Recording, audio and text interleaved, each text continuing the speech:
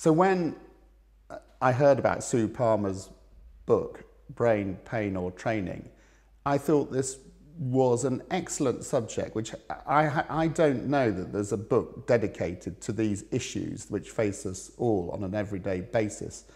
Um, but I think it's a brilliant idea and I'm sure it will help enormously. It's important and it would have saved them a lot of heartache if they'd perhaps ruled out physical anomaly early now, on. Rather. I'm at Cambridge studying for a PhD and I'm studying the culture of British horsemanship and especially how that culture impacts on the way we interpret our horse's mind.